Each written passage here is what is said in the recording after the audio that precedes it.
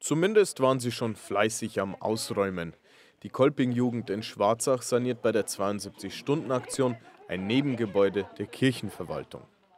Wir sind jetzt auf jeden Fall schon mal sehr motiviert, dass wir jetzt überhaupt angefangen haben, weil ich finde, der erste Schritt, der ist immer der, der schwierigste.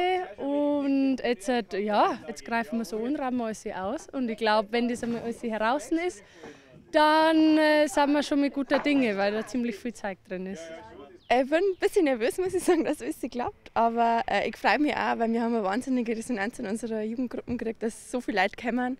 Von der Kirchenverwaltung kommen Leute, es kommt der Schreiner, es kommt der Zimmerer, die uns alles anschauen, die es uns abnehmen.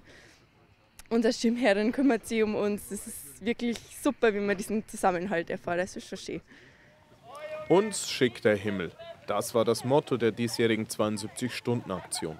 Im Bistum Regensburg beteiligten sich 148 Aktionsgruppen, alles für soziale Projekte in ihren Städten und Dörfern.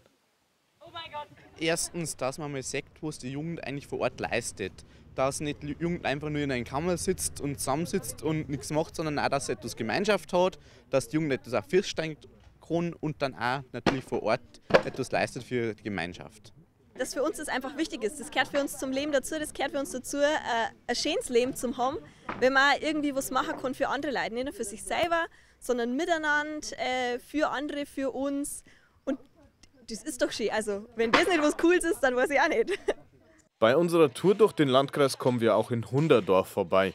Dort werden neue Sitzplätze für den Sportplatz aufgestellt. Mehr als 3200 Jugendliche haben sich im Bistum Regensburg engagiert. Allgemein war ein schöner Zusammenhalt im Dorf ist und jetzt für uns in der KLJB ist es so, dass ziemlich viel auch gleich Fußball spielen. Und ich finde es einfach, es schaut schöner aus, wenn einmal saubere Bänke da sind. Jetzt ist Zeit geworden und es war wichtig, weil die Alten haben schon ziemlich schlecht ausgeschaut. Und ja, es ist einfach schön, wenn es zusammengeht und wenn sie was reden darf.